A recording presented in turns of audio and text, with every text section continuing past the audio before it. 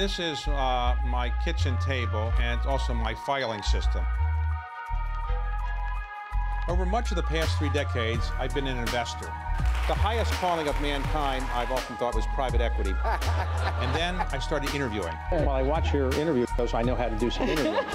I've learned in doing my interviews how leaders make it to the top. I asked him how much he wanted. He said 250. I said fine. I didn't negotiate with him, and I did no due diligence. I have something I'd like to sell, and how they stay there. You don't feel inadequate now because being only the second wealthiest man in the world. Is that right? Over the past quarter century, the most successful sports owner in the world has been Robert Kraft. He's taken his team, the New England Patriots, to six Super Bowl championships with the help of Tom Brady, his star quarterback. Had a chance to sit down with Robert Kraft at his Gillette Stadium in Foxborough, Massachusetts, to talk about how he's been so successful as a sports team owner, but also his newfound and very deeply felt interest in fighting anti Semitism. Bob, uh, in your wildest dreams, when you bought this team in 1994, did you ever imagine you'd win six Super Bowls and be the most famous owner in professional sports? Well, I sat in the stands of the old Foxborough Stadium, and then when they came here, I sat in the stands here and dreamt about one day trying to buy this team and own it and run it the way I wanted. I said, if I could ever get this team, I just dream of having home playoff games and going to the Super Bowl and winning it. Now, when you bought the team, I think you paid roughly $175 million, something like that. 172. $172 million. Okay, $172 million, which was a lot of money in those days, the highest price ever paid for a football team at the time. For any sports franchise anywhere in the world. Okay, so I'm sure your friends said, Bob, are you crazy? Uh, My friends, my wife, uh, it's the one time in our marriage that she was ready to really wring my neck. But now the commanders, they were sold recently for a purchase price of $6 billion, and they haven't won six Super Bowls. So if you put your team up for sale, presumably it's worth 8 billion, 10 billion or more, would you ever consider selling or you're never going to sell? Never in my lifetime will we sell this team and I hope my children keep it going as well. It also builds community. It's a way to build bridges. You bring people of all background together. I think back to when we were privileged to win our first Super Bowl three, four months after 9 11. And Boston, a city of 600,000 people, a million and a half people came out on the streets. Very cold day, you know, black, white, Asian, gay, every background, all putting community and team first. And that's a privilege and an honor. So I look at this team as like a community asset, and I'm never going to sell it. So let me ask you about the NFL generally. The NFL prices for, um, or the value of the teams has gone up, as I mentioned earlier, and that's because TV contracts have gone up. How much higher do you think TV contracts can really go? Um, is there any limit to how much you can get paid by the broadcasters? Well, I've been privileged to be chair of the media committee for the last couple of decades. And uh, three years ago, we, three seasons ago, we were able to do seven to 10 year contracts that exceeded $130 billion. And that was tremendous because it gave us great stability in the league where we could do a 10-year labor deal. And we basically share 50-50 with the players, the revenue. So, you know, they have been able to grow and succeed with us. It's, you know, we know linear TV is really challenged now. And we've been doing things that um, we brought in two tech partners now who uh, Amazon and Google or YouTube. And, um, you know, I think we are developing our own NFL Plus where we go direct to consumer.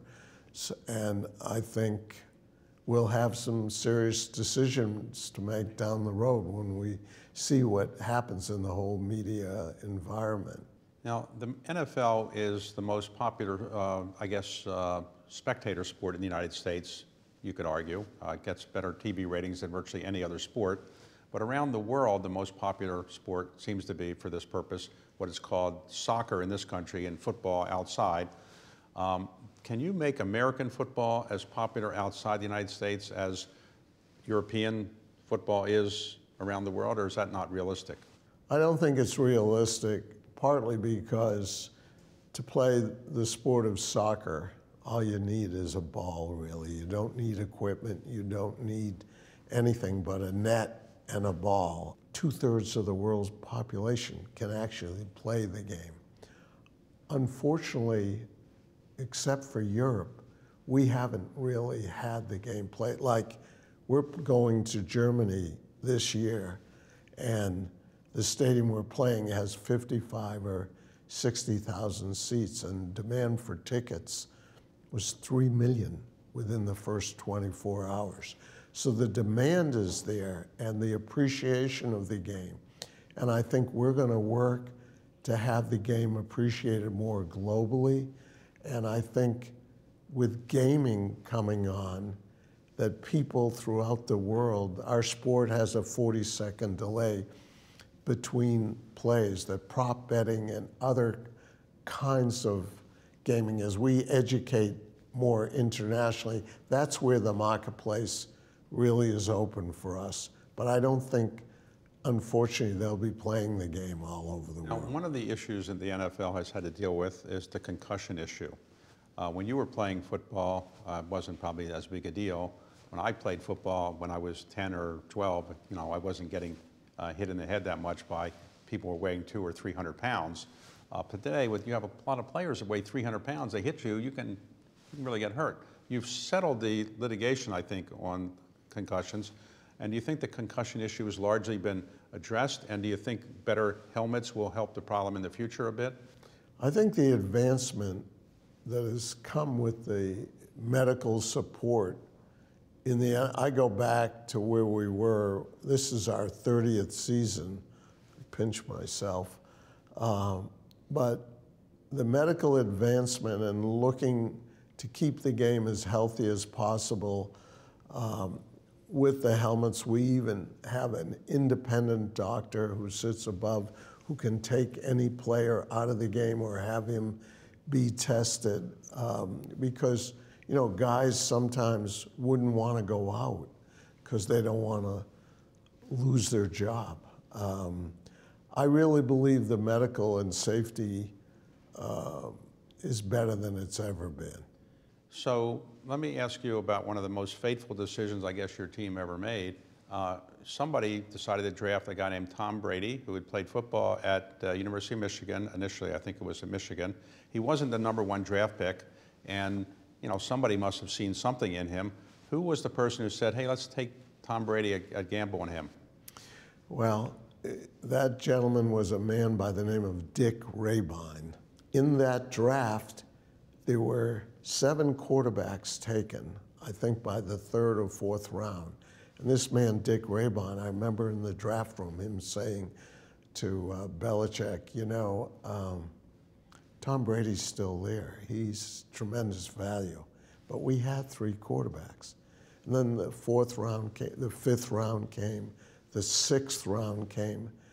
And the last pick of the sixth round, which is known as a compensatory pick, draft pick number 199, we wound up taking Tom Brady.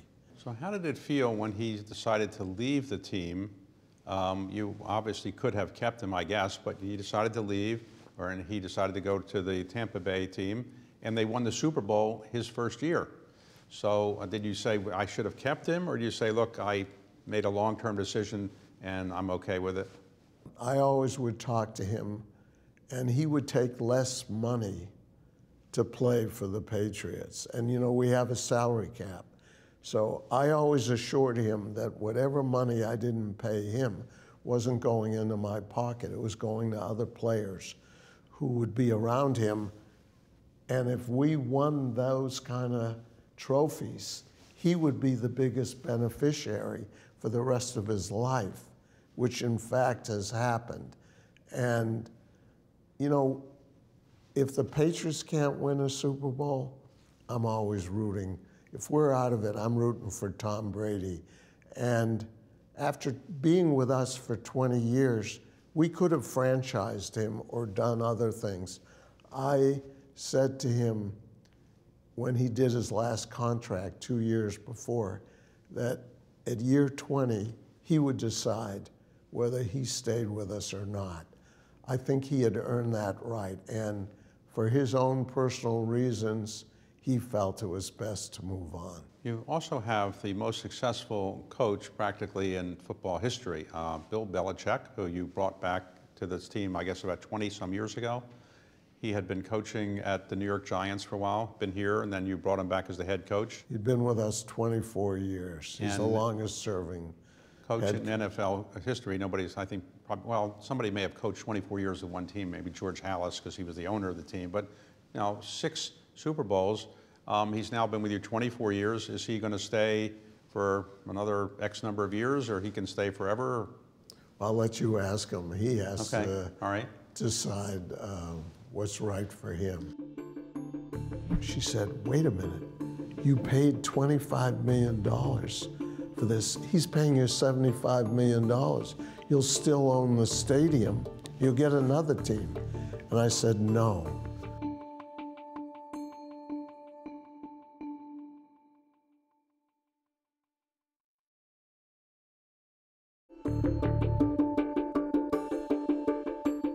Talk about your background. Where were you born? I guess from your accent, you were probably born or raised in Massachusetts, I would say. Probably. I still park my car here. Okay. But I, I grew up in Brookline, Mass. Uh, went to public schools. Were you an athlete? Well, I like to think I was an athlete. My favorite sport was football, but we observed the Sabbath. And um, unfortunately, in high school, I couldn't play football because of that. And, uh, but I was able to get a full academic scholarship to Columbia College. And I went there and played football there and just loved the game and realized how football in life is the greatest training ground for people in business or life or anything. What did you do after you graduated from Columbia? Uh, I was privileged to uh, go to Harvard Business School. So after you graduated from Harvard Business School, what did you do? My father-in-law had a couple uh, box plants, and he wanted me to join them, and I didn't want to be. I wanted to go into business for myself. My father uh, advised me since my wife at the time was the equivalent of an only child that I should do that, and um, out of respect, which I did. I did it two years, and I was going to leave, and uh, I was asked what I could do to stay, and I said, you know, I'd want to buy into the company. I didn't want to be working for other people, even if they were relatives. And so I was able to do a leverage buyout. So you were in the private equity world, or I started on my own, yeah, interest rates were favorable, and I um, bought half the company, and then there was an opportunity to take over a paper mill up in Canada, and um, I decided I wanted to do it. I offered my father-in-law half the company. He passed on it, and so um, I did it. And 51 years later, um, we've developed that into an international company. We're in over 120 countries in the world, and we're number six in paper and packaging, and You're number six, pretty- um, but it's a privately owned company. You're not going to take it public or sell it or anything. not in my lifetime. Okay. So you're not selling the Patriots. You're not selling the packaging company. Um, I guess you don't like to sell things, right? I really don't. Well, that's why you wouldn't be good in the private equity business because we, we like to sell things. I get emotional attached too, and to the people working there. We we try to create a family environment in everything we're involved in. Uh, I've learned that people want to be part of something that's bigger than themselves. So let's talk about the team. I see today that someone writes a check and they bought the team. Uh, unfortunately for me, it was a much more complicated process. There were three steps. I had a, there were 200 acres of parking that was owned by one group, and I got that land under option in 85 that went to 95. And coincidentally, I bought the team in 94. So I was able to exercise the option. But that option on the land was for parking. In 88, 89, the stadium went into bankruptcy because of the Michael Jackson tour. I, at that time, Victor Kiam owned the team. He bid $17 million for the stadium. I bid 25. The judge awarded it to us. When I bought the stadium in 88, it had a lease that went till 01 with an operating covenant, which means the team could never move without our permission. And finally, in 94, um, which uh, was the getting close to near the end of the lease, they wanted to move the team to St. Louis. I wouldn't let the, the James Orthwein, who owned the team, he was part of the Bud family, Budweiser family, and they had a publicly financed stadium in St. Louis. They wanted to move it, and I wouldn't let them do that. Worked out okay for you? Uh, your late wife uh, wasn't was a little nervous, I guess. Before I went out to buy the team um, from Orthwein in St. Louis, she said, "What are you going to pay?" And I said, "Well, the right number is 115. I might go to 120, 122." And when I came back and told her that I went to 172, she went nuts. And Orthwein's lawyer from St. Louis called me and said, We will offer you $75 million to let the lease expire and let us move. And he called me at home, and my wife heard that. She said, Wait a minute, you paid $25 million for this. He's paying you $75 million. You'll still own the stadium, you'll get another team. And I said, No. I remember when I was a kid, my team, my baseball team was the Boston Braves. They played at BU Field. They moved and they never came back. And I was heartsick. And that's, that's why. I, it wasn't about the money, it was about the passion.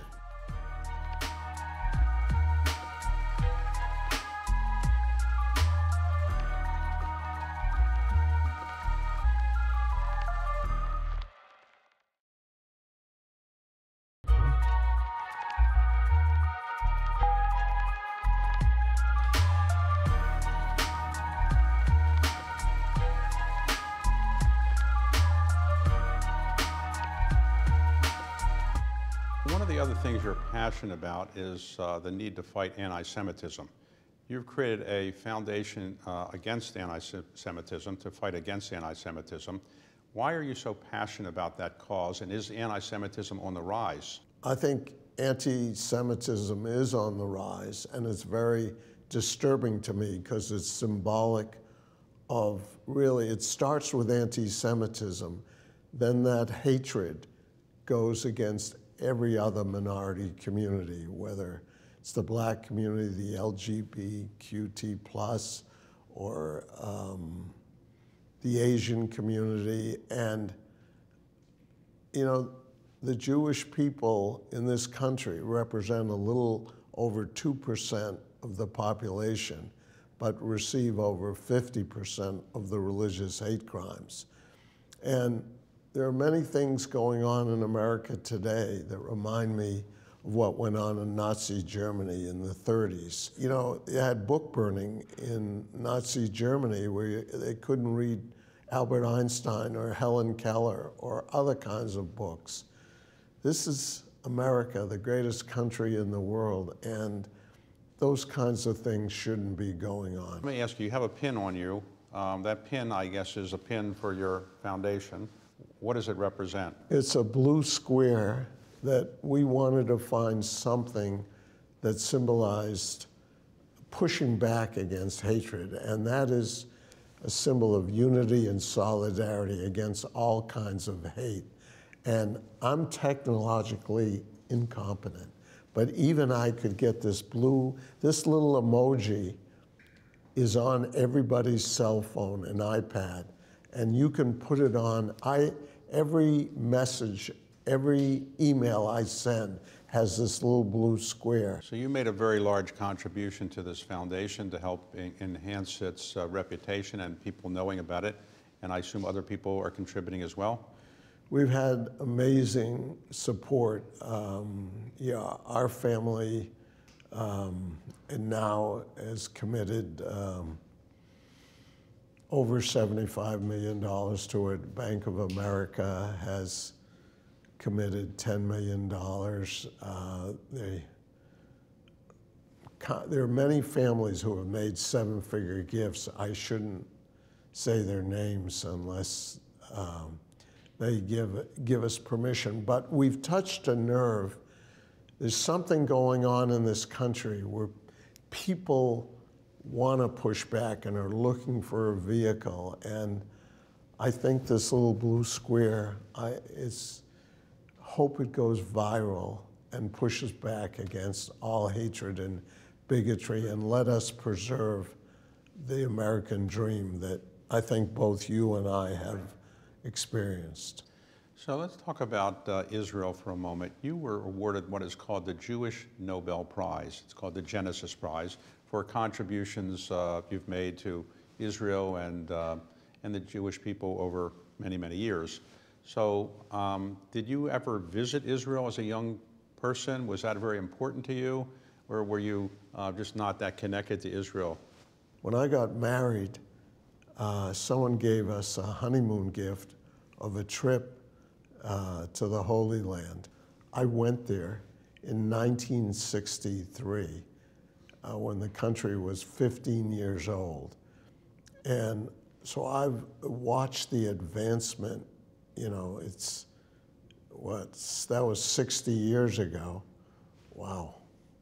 And the country is amazing. And I think what Israel has done technology wise and the contributions it's made have been tremendous. So the secret to your success is prayer then, obviously. You say you've been praying a lot over the years. Prayer is very, spirituality, prayer, and giving thanks to the Almighty God, um, and understanding how privileged we are, and if we have our health and can pay our bills. Now, how many grandchildren do you have? I have eight grandchildren. Eight. And do they come to the games and?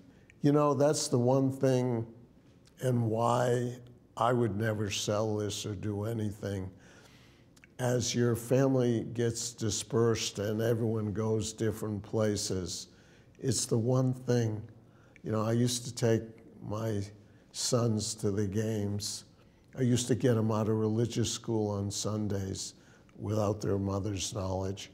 And we'd come in and we'd tailgate here and spend the day here and get to know all our neighbors who sat in the seats around us, and it's lasting memories.